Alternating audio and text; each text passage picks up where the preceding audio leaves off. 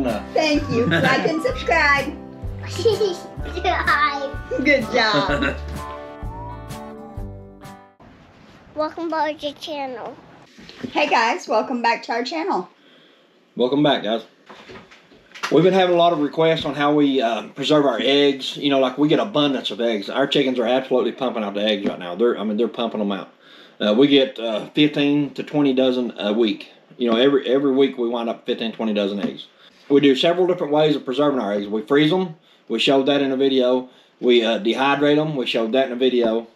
Okay, and another way that we do them is we pickle them. You know, pickled eggs and stuff like that. So we've got a bunch of requests asking how we hard boil our eggs without them tearing all two pieces. And if any of you out there know if you if you ever hard boiled a farm fresh egg, especially a brown egg, white white are bad too. Don't get me wrong, but the brown ones are just unbearable. They fall all to pieces. Yeah, and when you tear the shell off of them, they just just completely just you know tear them all to pieces. And you don't want to put that into a pickle jar. The the vinegar will turn cloudy looking. It almost look like it's bad, which it's not. But It, It- contaminates. yeah, and a lot of people say that uh, if you tire the white, that you know you got a potential for bacteria to get into the center of the egg. And, and- Botulism. yeah, botulism to get into the egg and you know make you sick or whatever. You know, um, but I, I've I've never had that problem. Honestly, I never have.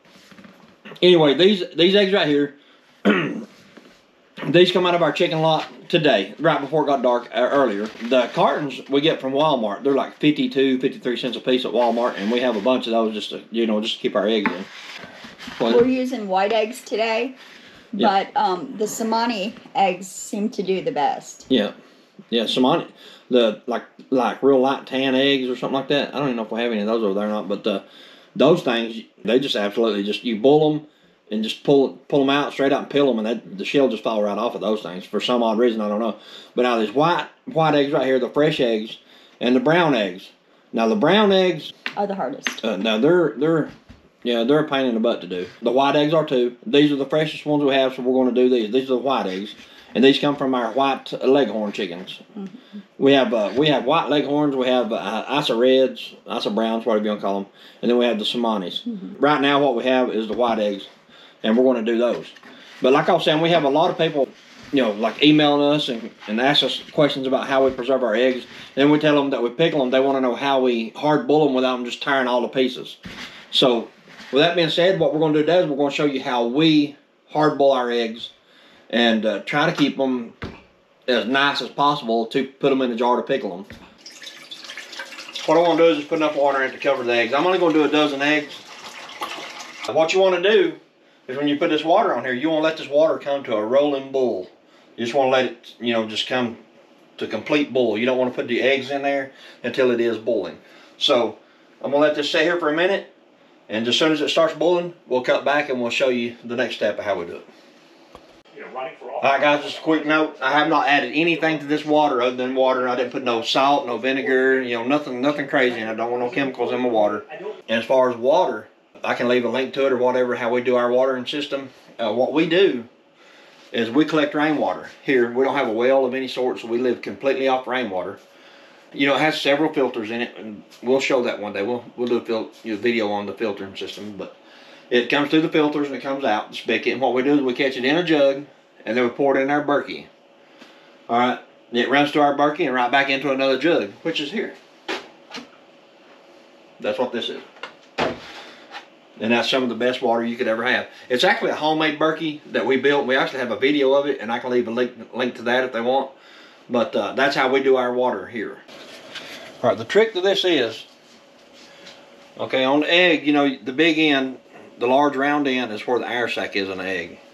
Okay, all you got to do is take your spoon and barely crack that egg. Barely pop it. Set a little end in in it. That's all you got to do. And put it in the water.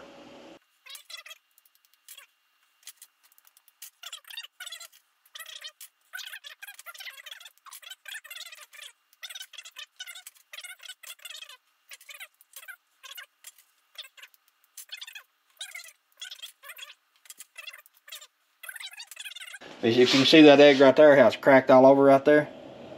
But see that it's still perfectly fine. All right, guys, that's a that's a dozen eggs. Okay, what you do, the next step is you wait until that comes back to a rolling boil. Once it starts boiling, I set my timer for 20 minutes. And when that time's up, I'll show you what I do next. Uh, the water's come to a boil. So what we're going to do is we'll set a timer. We'll set it for 20 minutes. All right, as soon as that 20 minutes is up, uh, what we're going to do is we're to push them off the heat, and then we'll start running them up, you know, the cold water over top of them. So, if you had ice or something like that, if you have like a bowl, you can put some ice in, put some ice in. It, it actually works better that way, but cold water is perfectly fine. That's all I ever use. But you can use ice ice water, like, and it works pretty good that way too. But like I said, we just use cold water. So, we'll show you the next step here in just a minute.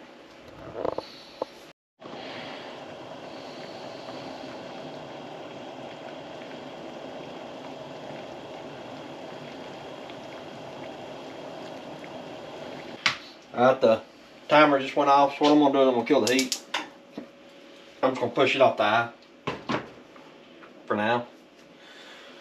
And I have a strainer over here. What I'm gonna do is I'm gonna put the eggs in the strainer.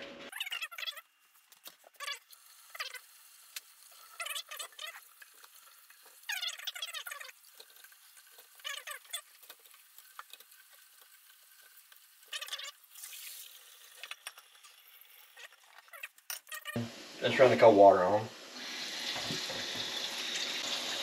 But what you want to do is you want to stop the, the cooking process. That's all you want to do. Run cold water on. And what I'm going to do is I'm going to take these things and I'm going to set them in the refrigerator for 10 minutes.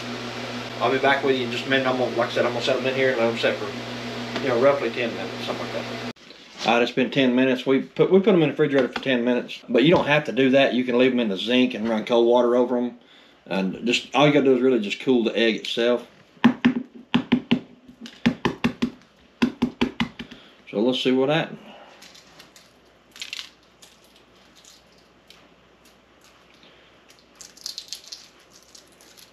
The shells just pretty much just fall off of them.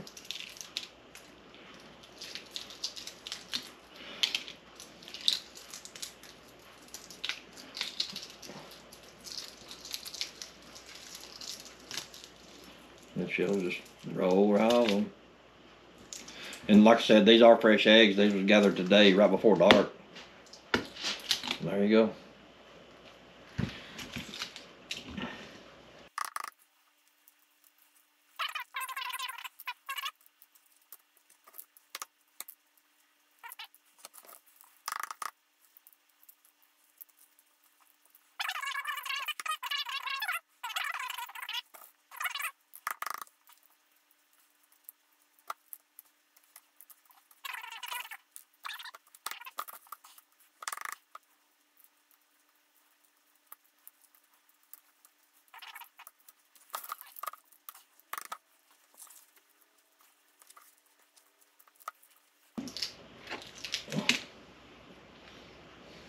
All right, guys. 12 out of 12 eggs. Perfectly peeled. No tearing, no, no messing up the whites. You know, perfectly. 12 out of 12. There you have it. So basically all you gotta do is just start your water, let the water get to a good rolling boil.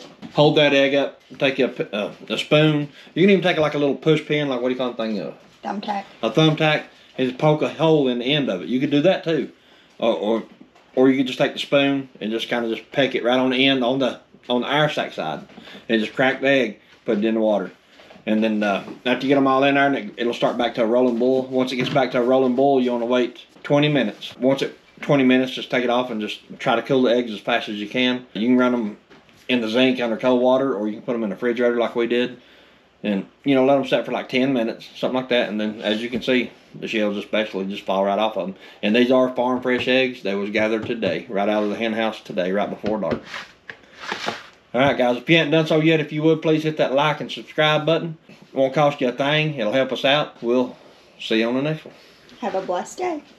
I want to subscribe. There you go. Good job.